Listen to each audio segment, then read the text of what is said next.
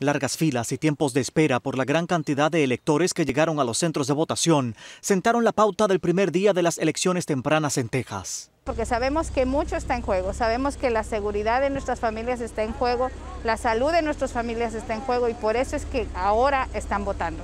Más de 128 mil electores salieron a votar en el condado Harris, el más grande del estado, estableciendo un récord de participación para un mismo día, casi el doble de la marca anterior impuesta en las elecciones de 2016. Las personas ahorita están muy motivadas, las personas quieren estar escuchadas, quieren quieren ser reconocidas y mucha gente entiende la importancia de, esos, de, esa elección.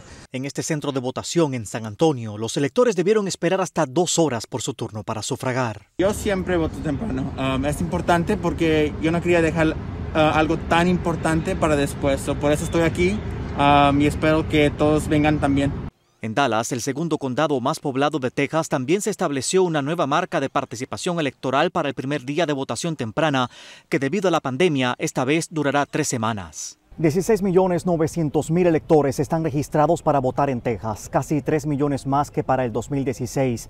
En este estado, con 38 votos electorales, el segundo número más grande del país, el presidente Trump aventaja en las encuestas al demócrata Joe Biden por un promedio de cuatro puntos, muy poco según analistas para predecir un ganador definitivo. Arnaldo Rojas, Voz de América, Houston.